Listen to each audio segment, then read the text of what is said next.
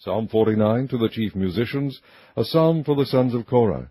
Hear this, all ye people, give ear, all ye inhabitants of the world, both low and high, rich and poor together.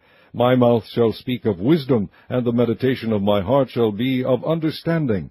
I will incline mine ear to a parable, I will open my dark saying upon the harp. Wherefore should I fear in the days of evil, when the iniquity of my heels shall compass me about? They that trust in their wealth, and boast themselves in the multitude of their riches, none of them can by any means redeem his brother, nor give to God a ransom for him. For the redemption of their soul is precious, and it ceaseth forever.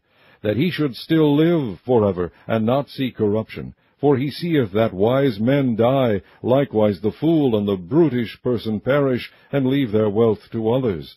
Their inward thought is, that their houses shall continue forever, and their dwelling places to all generations. They call their lands after their own names. Nevertheless, man being in honor abideth not. He is like the beasts that perish. This their way is their folly, yet their posterity approve their sayings. Selah. Like sheep they are laid in the grave, death shall feed on them, and the upright shall have dominion over them in the morning, and their beauty shall consume in the grave from their dwelling. But God will redeem my soul from the power of the grave, for he shall receive me. Selah.